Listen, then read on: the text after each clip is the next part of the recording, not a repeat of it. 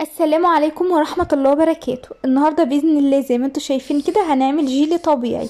وأنا بقول جيلي طبيعي مش الجيلي اللي بنشتريه من بره اللي بيبقى بالباكت اللي بيبقى مليان ألوان ومواد حافظة وكمان بيبقى فيه نكهات. يعني هو بيحتويش على آه، جيلي خالص جيلي بالفواكه خالص. هو بيبقى نكهة الفاكهة. فالنهاردة هنعمله بالفاكهه الطبيعيه تقدري تعمليه بأي نوع فاكهة متاح عندك. عايزة أقول لكم طعم حلو جدا عملت منه نوعين نوع الجيلي السادة والنوع الجيلي اللي هو بالفواكه. نقدر بقى نعمله لأطفالنا اللي قبل عمر السنة واللي بعد عمر السنة وحتى عمر كبير وينفع للكبار. وكمان مناسب جدا لمرحلة التسنين عند طفلك. يا ريت لو الفيديو عجبكم ما تنسوش إعجابكم بالفيديو.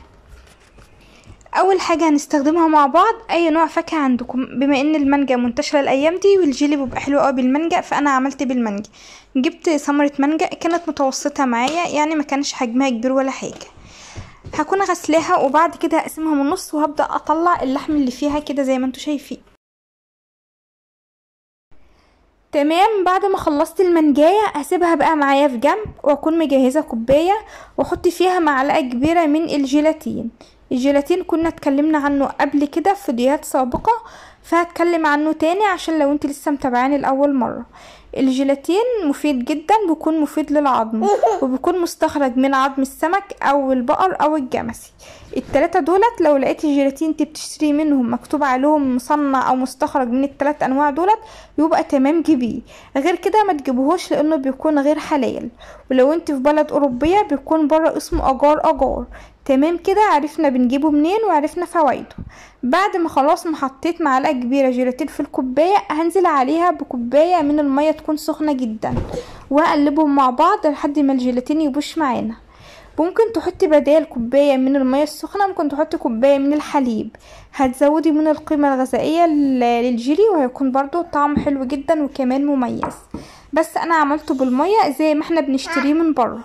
وعلى فكرة اللي إحنا بنشتريه من بره بيكون برضو فيه جيلاتين بس الجيلاتين بيكون فيه بودر زي اللي أنا حطيته وبيكون بقى الجيلي بودر وبيكون عليه مواد حافظة وبيكون عليه نكهة الفواكه. يعني ما بيكونش بيحتوي على فواكه زي ما إحنا بنعمل فواكه طبيعية.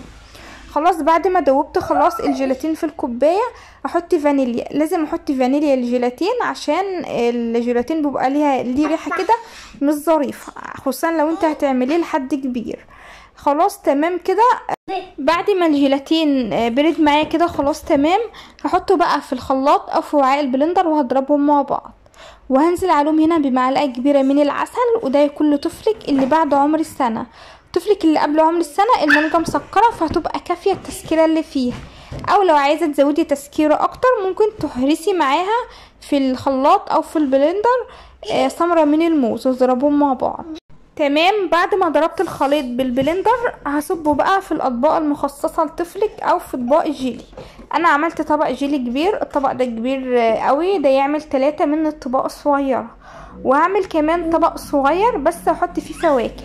هتقطعي أي فواكه عندك. أنا هنا قطعت موز وكمان عنب يعني حبات العنب عملتها اتنين عشان الطفل ما يشرقش. وتفاح وموز وعنب. أنا اكتفيت بالفواكه ديت. لو عايزه تحطي أي نوع فواكه عندك هتبقى حلو وبعد كده هنزل عليهم بالخليط خليط الجيلي وهدخلهم بقى التلاجة من أربع لست ساعات على حسب ما هيربط معاكي. تمام كده؟ أنا هنا بعد ست ساعات كان بقى متماسك معايا بالشكل اللي أنتوا شايفينه ده. هنخرجه بقى من القالب عشان نشوف شكله عامل إزاي.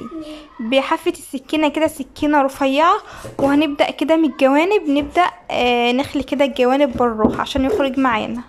عايزة أقول لكم إن أنا الطبق ده أنا كنت دهناه بالأول زيت عشان يخرج معايا بكل سهولة. لأن لو أنا حطيته كده فهيبقى صعب شوية في الخروج وممكن هيبوظ معانا شكل الجيلي. فالأفضل إن أنت دهني زيت زيت زيتون أو زيت جوز الهند هي دهنة بسيطة كده بالفرشة. تمام بعد ما خليته خلاص هجيب بقى الطبق وهبدأ أقلب عليه الجيلي عشان نشوف شكله عامل إزاي. عايزة أقول لكم إن شكله جميل زي ما أنتم شايفينه حلو جدا جدا. وفيه الهزازة بتاعه الجيلي اللي إحنا بنشتريه من بره والطعم طعمه رائع جدا. زي ما أنتم شايفينه بيتهزز معانا إزاي؟ نفس الجيلي اللي إحنا بنشتريه.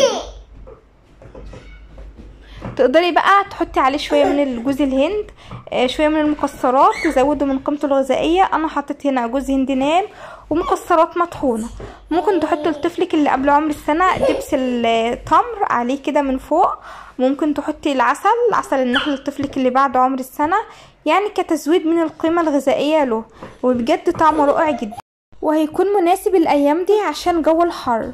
كمان مناسب لو طفلك كان بيسنن. هتبرديه وتديهوله هيبقى ناعم على اللثه غير إن هو هيشد الالتهاب اللي بيكون موجود في اللثه اللي بيضايق أطفالنا.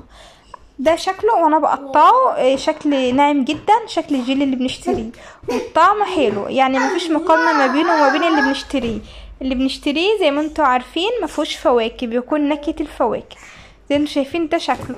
ده بقى الطبق التاني اللي أنا قطعت فيه الفواكه. عايزة أقول لكم بجد طعمه أحلى من السادة بكتير. طعمه حلو جدا جدا. السادة حلو بس الفواكه في ده اداله طعم مميز قوي وكمان زود من القيمة الغذائية. الفواكه دي هتكون لطفلك اللي بعد عمر السنة. أما طفلك اللي قبل عمر السنة ممكن تكون مناسبة من الشهر الحداشر. لأن الأطفال في الوقت ده ممكن ياكلوا الأكل خشن شوية. بس هتنعمي الفواكه شوية عن كده أو هتصغريها أصغر من كده. وهنبدأ برضو نخل كده بالسكينة من الجوانب. هو ده صعب شوية علشان فيه الفواكه بس بالراحة واحدة واحدة هبدأ أخلي تاني لحد ما أحس إن هو بقى هيقدر يطلع معايا. واقلبه تاني في الطبق وده شكله بعد ما اتقلب آه طعمه حلو جدا آه شكله متماسك برضه انت ممكن تحطي اي نوع فاكهة عندك مش لازم تحطي انواع كتير ممكن تكتفي بنوع واحد. ممكن تحطي فيه الزبيب بدل الفاكهة والمكسرات وجوز الهند. برضه في نفس في الجيلي في قلب الجيلي طعمه حلو جدا بجد هيعجبك جدا وهيعجب أطفالنا. وبس كده وده كان فيديو النهارده. يا رب يكون عجبكم. ودمتم بألف خير. وأشوفكم على خير بإذن الله في فيديو جديد. ولو جربتوا الوصفة بإذن الله تعجبكم بألف هنا وصحة مقدمة.